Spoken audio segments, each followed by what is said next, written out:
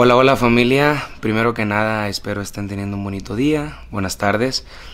Esto lo hago para aclarar un poquito sobre el video que está circulando en las redes sociales, el cual yo mismo hace años le enseñé a mi esposa porque eh, la señorita quería extorsionarme con ese video, quería dinero. Yo le dije, no, no te voy a dar dinero, prefiero yo enseñar solo a mi mujer. Le enseñé el video a mi mujer, yo solucioné los problemas con mi mujer, acepté mi culpabilidad y lo que dije fue decirle, esto pasó, aquí está. Entonces, ella y yo, eso es pasado, eso ya lo pisamos ella y yo.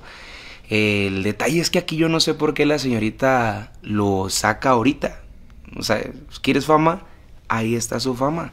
Ya tiene su fama. Eh, la verdad dice que están llegando amenazas. Mija, ni te topo realmente ni al caso, yo soy cantante, haz lo que tú quieras con tu vida, con tus redes sociales, ya lo sacaste, pues ni modo, ¿qué le voy a hacer?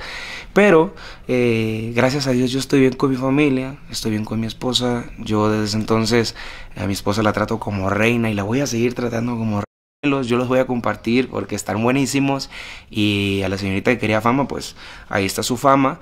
Eh, no les puedo decir nada más, más que pues gracias a todos por hacerme la tendencia número uno.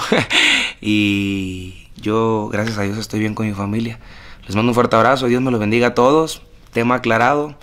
Y no me queda más que decirles gracias. Cuídense mucho. Me mandan los memes. yo los comparto.